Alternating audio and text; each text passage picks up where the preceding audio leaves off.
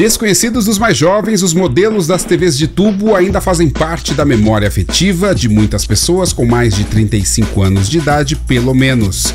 Os famosos televisores eram quadrados, pesados, com um botão para cada canal e saída de áudio na parte dianteira da TV. Modelos ainda mais antigos eram feitos em madeira, mas entre marcas que fabricavam TVs, uma teve muito destaque. A Mitsubishi está fazendo a maior promoção da história. Você compra qualquer TV ou vídeo Mitsubishi e a própria fábrica lhe devolve o dinheiro que você pagou daqui a 24 meses. Porque os aparelhos que davam garantia por duas Copas do Mundo sumiram do mercado. O que aconteceu com os aparelhos de TV que eram líder de vendas e hoje não estão mais no Brasil? A história das TVs Mitsubishi fabricadas pela empresa brasileira Evadim você vai conhecer agora.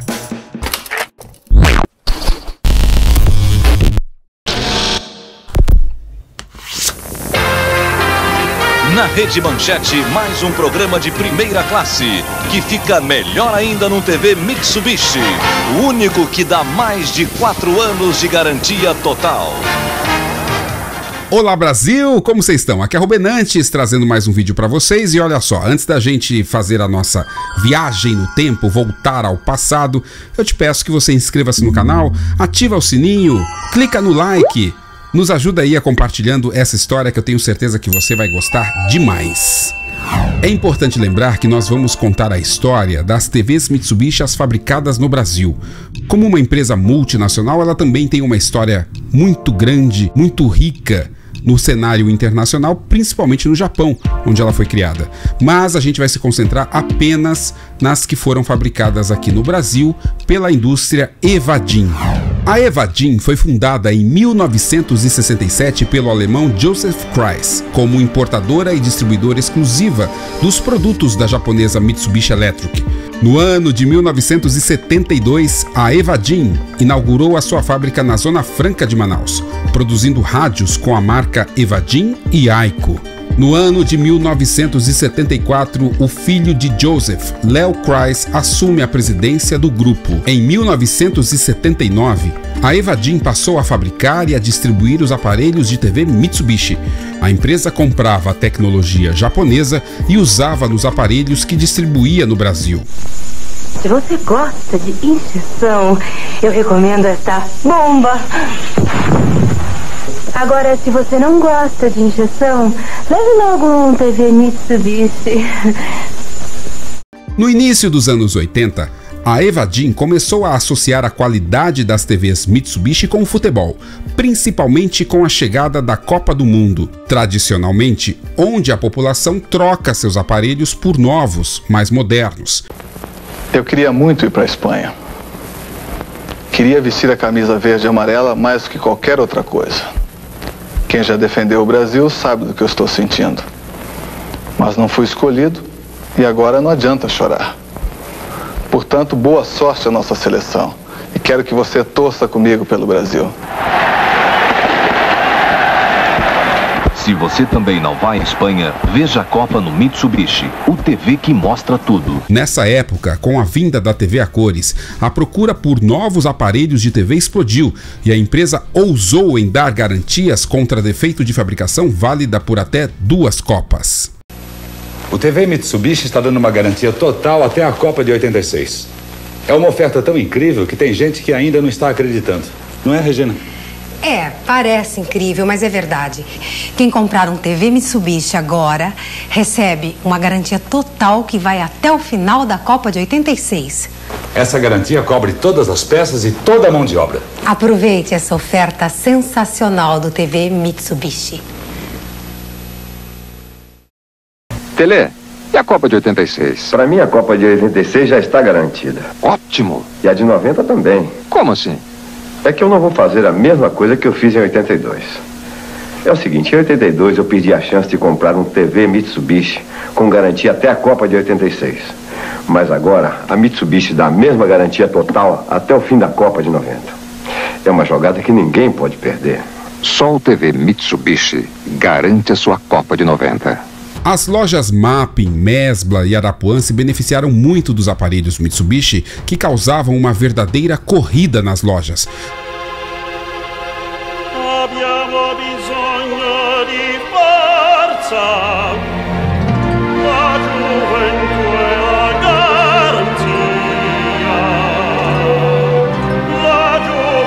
Nós garantimos que é perfeitamente possível o Brasil ganhar uma Copa. Se todo mundo lutar, suar a camisa e fizer as coisas com o coração. Nós já fazemos isso e o resultado está aí. A gente garante a TV Mitsubishi até a Copa de 94.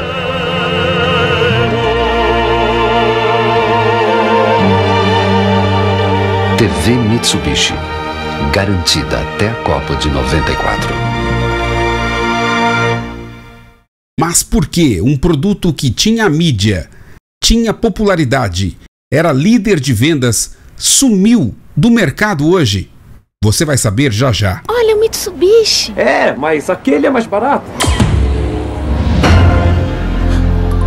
Você não vai levar o mais barato, não é? TV a gente não compra todo dia. Por um pouco mais você leva um TV Mitsubishi. Pense no sossego. Um Mitsubishi é garantido até... Até a Copa de 94. É Mitsubishi? Vamos levar. Por um pouco mais, você leva um Mitsubishi.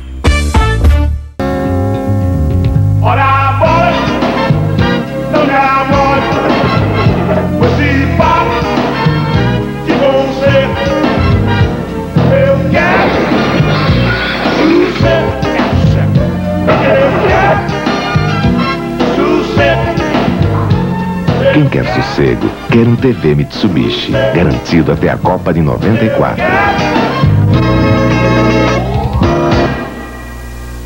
Ainda no ano de 1996, a Sony entrou forte no mercado com seus televisores Trinitron tela plana.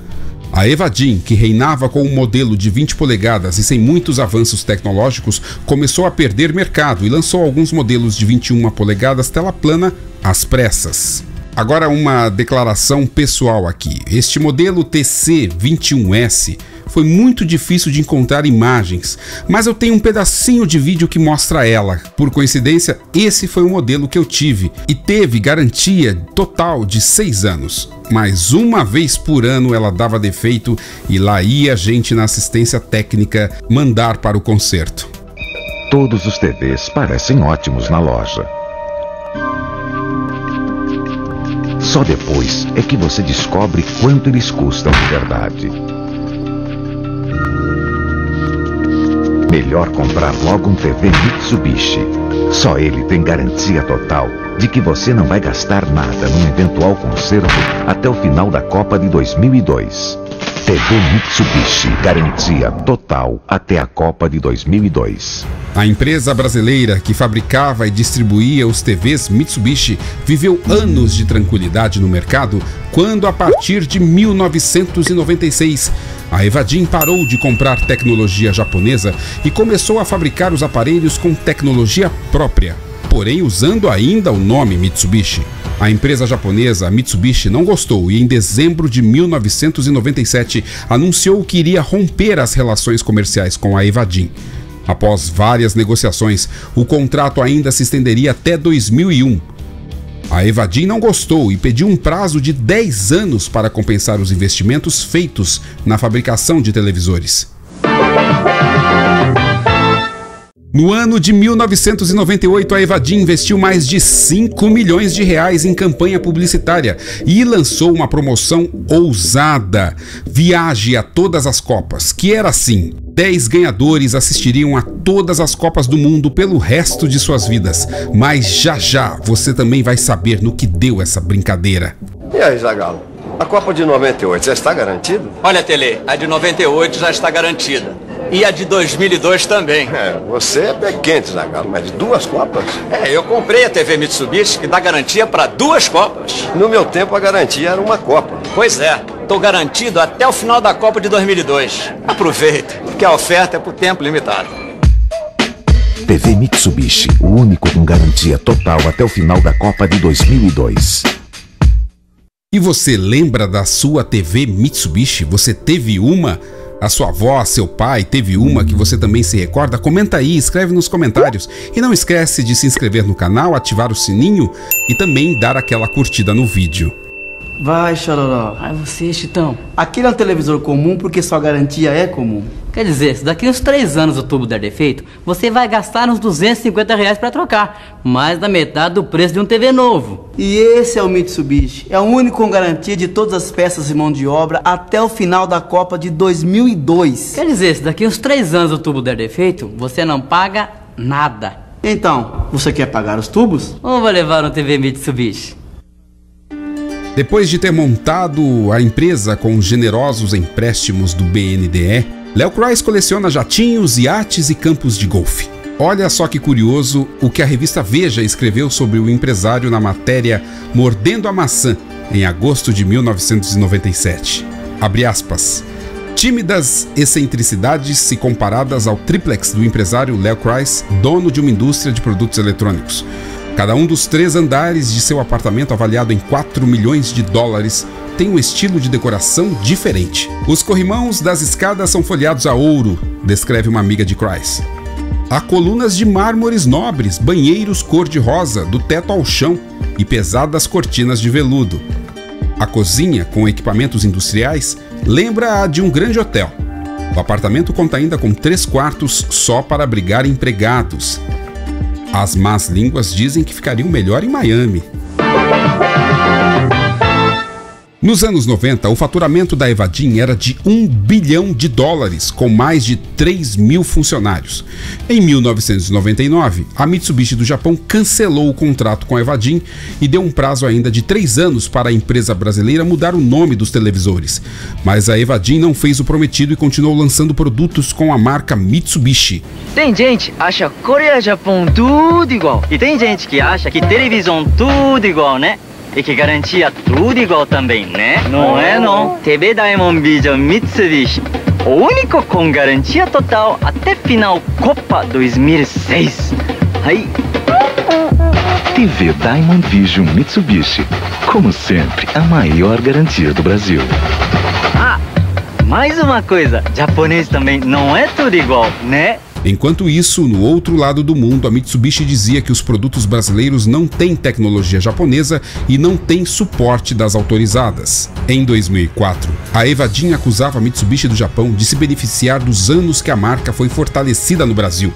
O boato é que a Mitsubishi iria investir 200 milhões de dólares em uma fábrica própria, que nunca se concretizou. No começo de 2007, a Evadin é notificada pela justiça por usar o nome Mitsubishi sem autorização.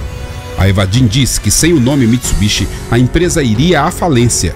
Cumprindo ordem judicial, retirou os produtos Mitsubishi às pressas do mercado e relançou as TVs com o selo Aiko. As embalagens do produto tinham a seguinte frase: Os produtos Mitsubishi mudaram. Agora é Aiko.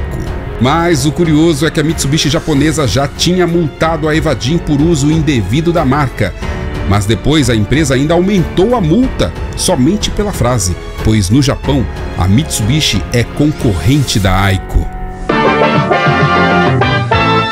Depois desse ocorrido, a Aiko Evadim tem sucesso relativo de vendas em computadores, televisões e celulares, mas o lucro dela caiu a empresa foi retirando seus produtos do mercado misteriosamente até desaparecer. No ano de 2010, a justiça brasileira condenou a Evadim a pagar multa para a Mitsubishi japonesa no valor de 50 milhões de reais.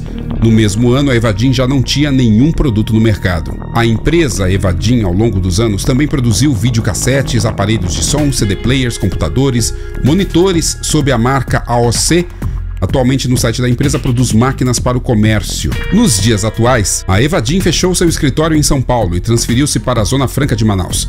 Segundo informações do Sindicato dos Metalúrgicos do Amazonas, a fábrica da Evadim está praticamente parada. Você lembra que no começo do texto eu falei da incrível promoção de viagem a todas as Copas do Mundo? As pessoas me perguntam como é dirigir a seleção? Eu sempre digo, é uma honra e um grande sacrifício. Mesmo se a gente ganhar em 94, eu não tenho nenhuma garantia de ver a Copa de 98 de perto. Por isso, eu já me garanti. Comprei uma Mitsubishi, a única TV com garantia total até o final da Copa de 98. TV Mitsubishi, a única com garantia total até o final da Copa de 98.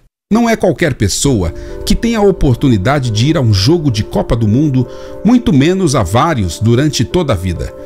Dez felizardos tiraram a sorte grande graças a uma promoção dos sonhos que prometia levar as pessoas sorteadas a todos os mundiais a partir de 1998. A validade do contrato para toda a vida. Mas na prática, não foi isso que aconteceu. A promoção era tão perfeita que parecia irreal. De acordo com o regulamento, todos os consumidores que comprassem um televisor ou um videocassete Mitsubishi concorreriam à viagem para os países sede da Copa do Mundo, com direito a assistir aos jogos das quartas de finais, semifinais e finais, além de hotel e passagens aéreas e traslados pagos, e também mil dólares em dinheiro para as despesas de viagens inclusive refeições. Dez torcedores brasileiros foram sorteados e ganharam o direito de fazer as malas a cada quatro anos para assistir às partidas e conhecer países diferentes, com tudo pago.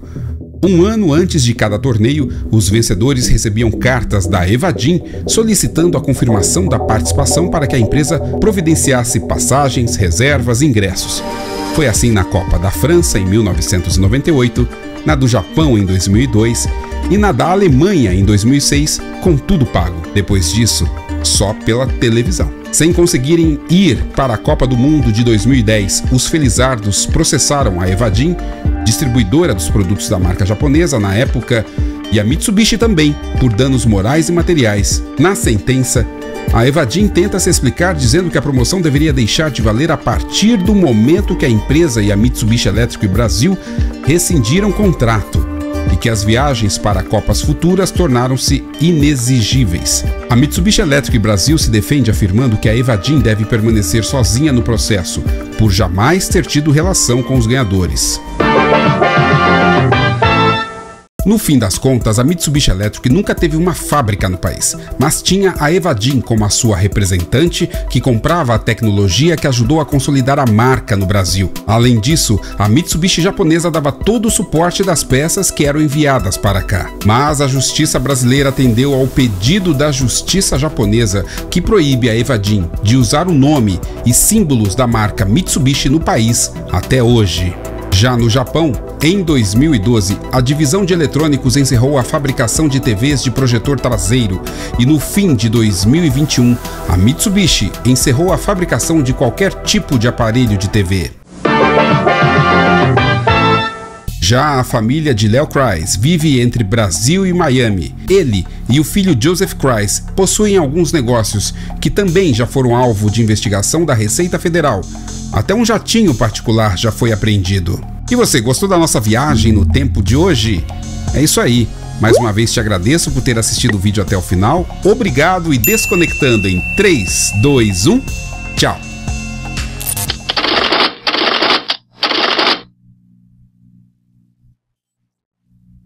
e os outros nem chegam aos pés do, do Mitsubishi. Tanto que logo em seguida eu comprei o segundo. E tempos depois, o terceiro e o quarto. Não fico sem meus televisores. E não troco por marca nenhuma. A família Mitsubishi.